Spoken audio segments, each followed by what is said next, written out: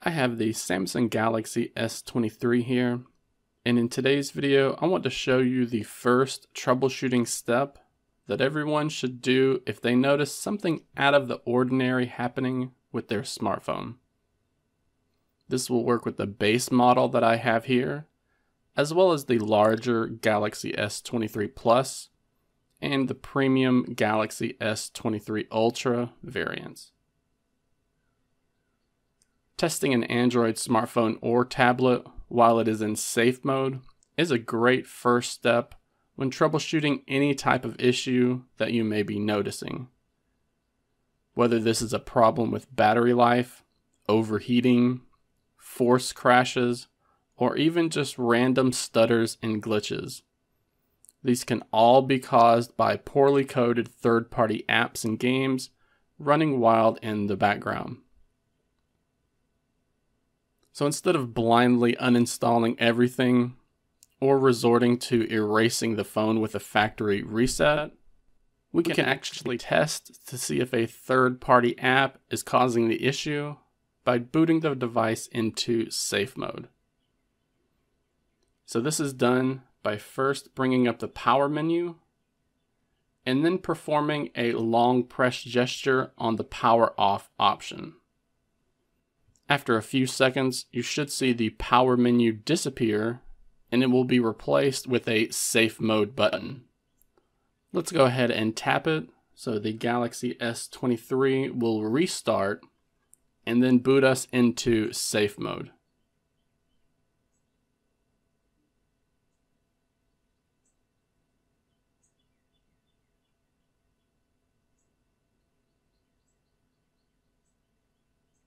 We should just notice the phone turning off and then turning back on before booting us into safe mode.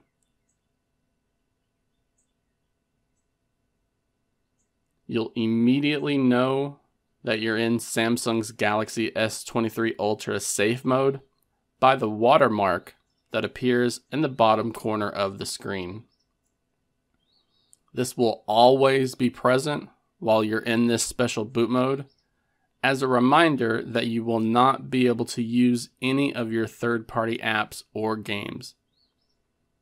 You are likely also going to notice a persistent notification as well, and that again reminds you that you are in safe mode, but while also offering you a quick way to reboot out of it and back into the normal Android operating system. You'll even notice that all of your third party apps and game icons are going to be grayed out. And trying to open them is going to reveal a toast message telling you that this downloaded app is disabled while you are in safe mode. This is because while you're booted into safe mode, Android is going to disable everything that was not pre-installed to the system partition. And this is why it's such a great way to troubleshoot any software related issue on the Galaxy S23. Instead of having to disable or uninstall them all individually, and then having to change them back and reinstall them after testing. We simply have to boot the phone into this special boot mode to see if the issue continues to persist. So if you have been noticing any troubles with the battery life, overheating of the phone, random app crashes, or performance stutters, then it is always recommended to boot the device into safe mode to see if those issues continue to happen. If they are no longer present while you are in safe mode, then the issue lies with one of the apps or games that you have installed onto the device. Your next step would then be to actually remove them one by one until you find the culprit causing the issue.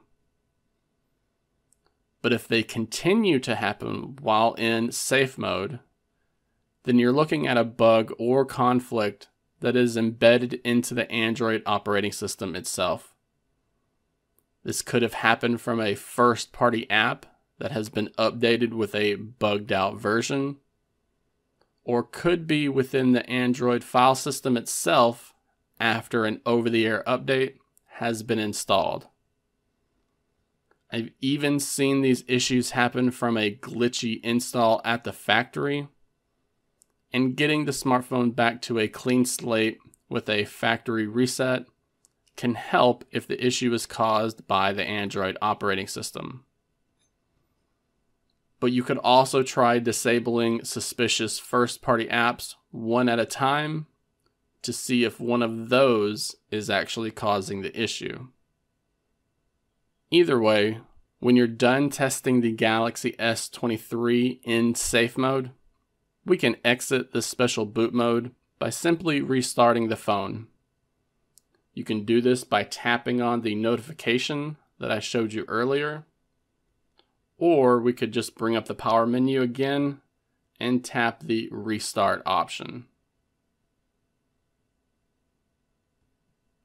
Just like before, the phone is going to turn off and then it's going to turn back on and boot us back into Android. And as long as you're not holding down any buttons during the boot back into Android, you should actually leave safe mode and be able to use your third party apps again.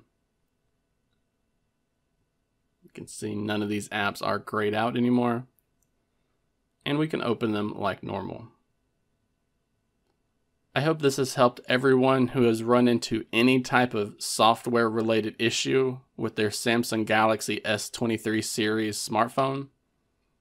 If you're still having trouble or simply have a question about Android in general, feel free to leave a comment down below and I'll respond as soon as I'm able to.